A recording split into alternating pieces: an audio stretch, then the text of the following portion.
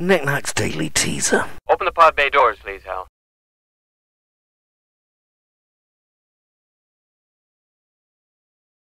Q1, 6th March saw aspirin registered as a trademark.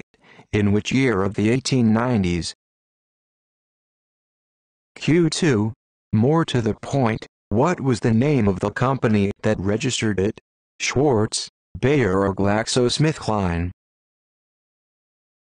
Q3, aspirin famously is supposed to help act as what? An anti-inflammatory, an antipyretic, reducing fever or an analgesic, reducing pain. Q4, the company that registered aspirin is headquartered in which German city? Dusseldorf, Leverkusen or Cologne. Q5, that company also marketed heroin, in the run-up to which World War. Q6, equally, they marketed heroin as completely non-wood. Q7, while we're on the subject, heroin is a stronger version of which drug? Morphine, cocaine or ecstasy. Q8, heroin, and its associated drugs, are all made from a version of which flower? Q9, aspirin ultimately comes from the bark of which tree?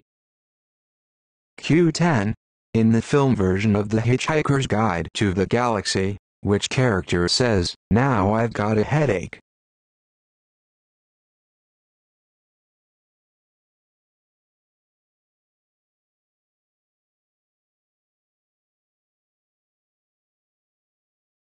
Questions said by Paul, Nick Nack Downie and released under the Creative Commons Attribution Share Alike 3.0 unported license.